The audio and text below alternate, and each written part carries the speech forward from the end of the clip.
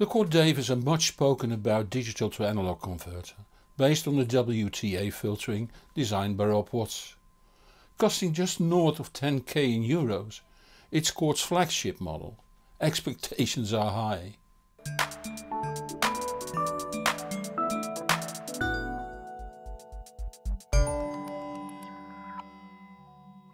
I first came across Chord DACs when I was requested by the then Dutch distributor to evaluate the Chord Chordette Gem. It had Bluetooth next to the USB input and he was curious what I thought of the Bluetooth option. I found it no enrichment for the audio culture but when using the USB input I agreed with the naming of the Chordette, a gem. Especially transients are of a quality that was uncommon then. If the 549 euro costing chord sounded that well, how good must the 4600 euros costing flagship model be, the QBD 76? After reviewing it I immediately bought it and later on had it modified for DSD playback too, to become the QBD 76 HDSD. It served me quite some years.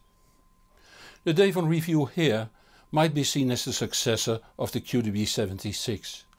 Both have the Choral range housing with porthole. On the QBD76 it only shows the circuit board while on the Dave it has a display in the porthole. What they don't share is the price since the Dave is twice the price of the QBD76 HDSD. As we will see later on there's a good reason for that. But let's first see where the Dave finds its place in your stereo.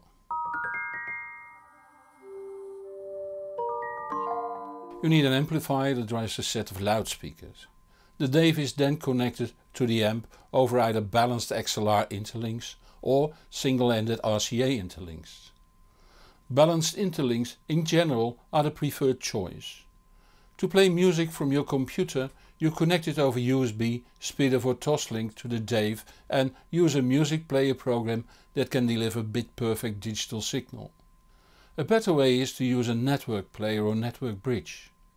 The computer and the network player or bridge are then connected to your local network through your router. Usually the software player is controlled using either a tablet or smartphone. If you still prefer playing CDs, a CD player can be connected to the Dave too. Depending on the player it's connected over SPDIF, Toslink or AES EBU. If you own a Chord Blue CD player this is connected over a pair of BNC cables. Since the Dave has numerous inputs all kinds of other digital sources can be connected too, provided they output either SPDIF or Toslink digital signals. You can for instance connect the optical sound output on your TV to the Dave to play the TV sound over your stereo at very high quality. Since the controls and display are on the top we look at the Dave from this angle. The housing is made out of machined aluminium, making it extremely sturdy and vibration free. It's 340 mm wide, 150 mm deep and 110 mm high and weighs 7 kilos. The color LCD screen shows info on the chosen input, sampling rate, filter settings and some other settings I will discuss later. It has four display modes like colored, black and white and switch to black after a short while. Above the display we find the infrared sensor for the remote control. On the right the volume control that doubles as a mute button by pressing it. Around it four metal ball shaped buttons let you navigate through the menus. On the front we find a 6.3mm headphone output. Chord has a tradition of not providing labels to the connectors. They abandoned this with other product lines like the TT series, but the Choral line of products still have to do without. I hate that for it means that you do need a manual for hooking up. Luckily nowadays the manual can be downloaded from the Chord site so it can't get misplaced. On the left we see the single-ended outputs on RCA and the balanced version on XLRs. Then there is the USB Audio Class 2 input that can handle 44.1 to 768 kHz sampling PCM up to 32-bit. DSD64 to DSD512 native or DSD64 to DSD256 over DOP. Then two SPDIF inputs on BNC that can be used as individual inputs doing PCM up to 384 kHz 24-bit and DSD 128 via DOP or as a dual BNC that is capable of doing PCM up to 768 kHz 24-bit. If a 44.1 or 48 kHz PCM signal or a DSD signal is sent to the DAVE over these dual lines, it will switch back to single BNC. The XLR on the right of it is the AES EBU input that can handle 44.1 to 96 kHz 24-bit conform the AES EBU specs. Then we see two Toslink inputs that do 96 kHz 24-bit and another two BNCs that do SPDIF inputs 3 and 4. Finally, 4 BNCs that, according to the manual, offer 4 times digital outputs for future products.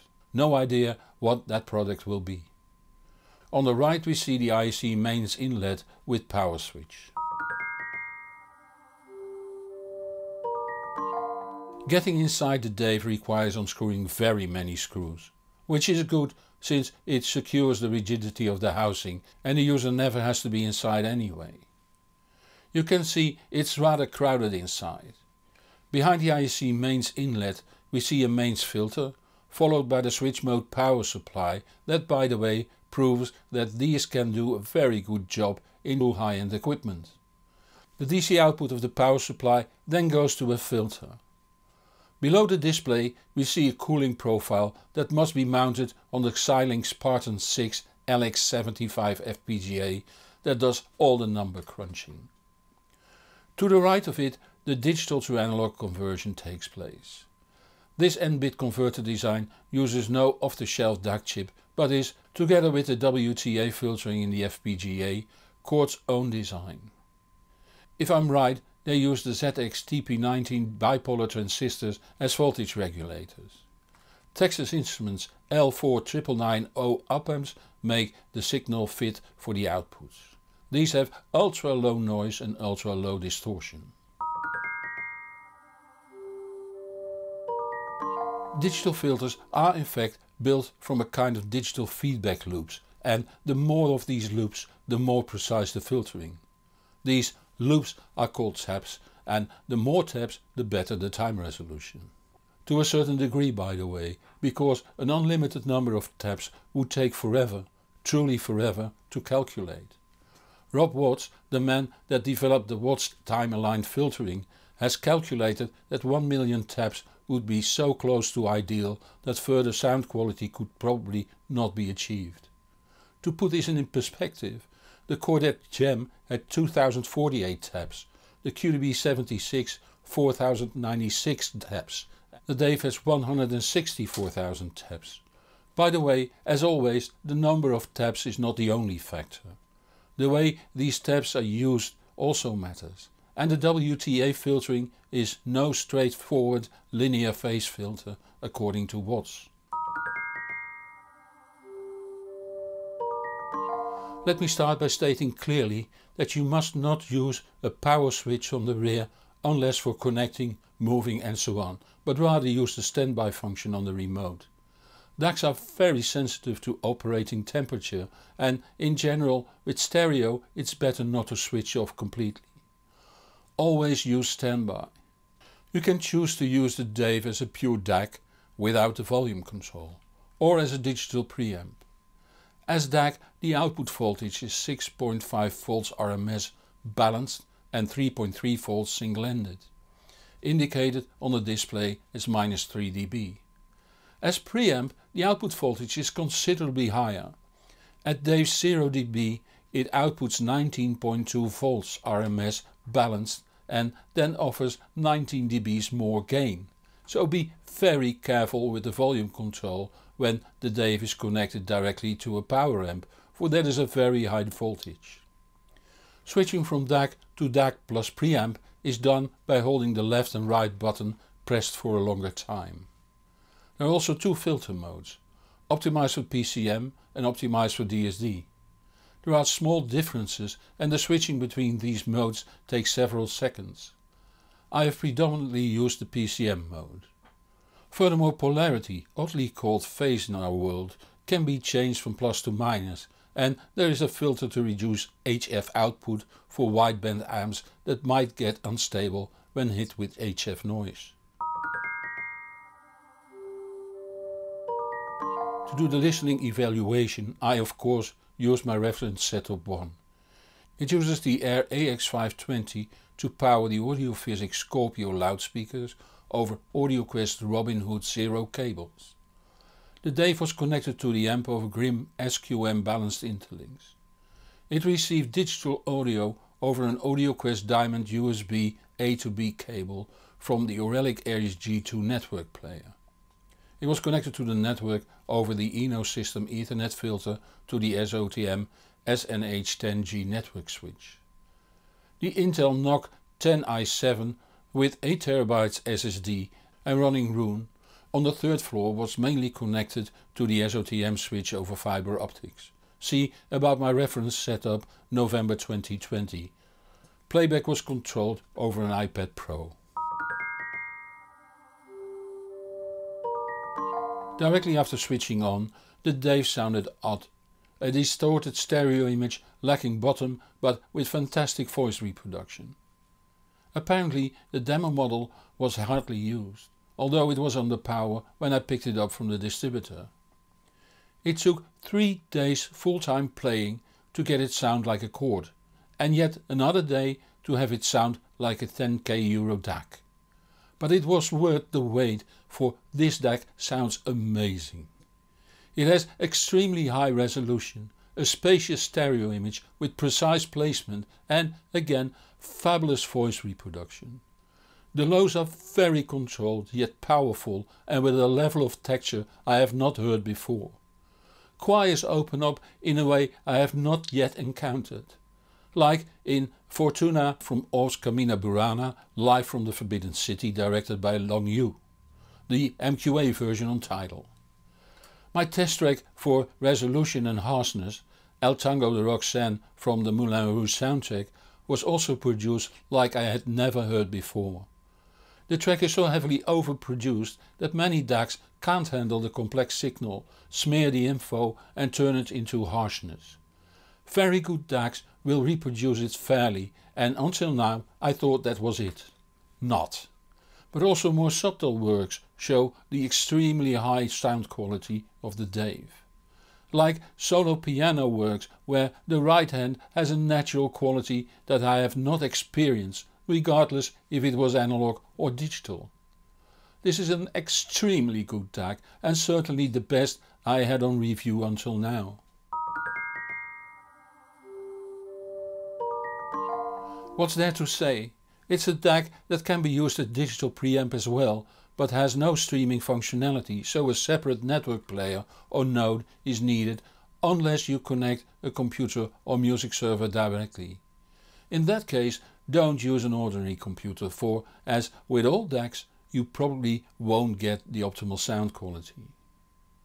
The remote does not offer direct input select you need to step through the inputs until you're at the input of choice. That makes the use of a programmable remote a lot more complex, something that makes it harder for the family to also use the stereo. On the other hand, if the ultimate sound quality is your goal and you have the money to spend, this might get you close to that goal. Of course the other components in your stereo have to be of equal quality. The time resolution of this DAC is so high that you should use an amp that has limited or no local feedback, let alone global feedback. My Ayre amp uses no feedback and loses no signal to noise due to volume control. See my description in a separate video. A very good streamer with clean ethernet feed helps too, as will decent cabling. At this level everything does matter seriously. A review of the Chord M scaler is due soon, so if you don't want to miss that, subscribe to this channel or follow me on the social media so you will be informed when new videos are out.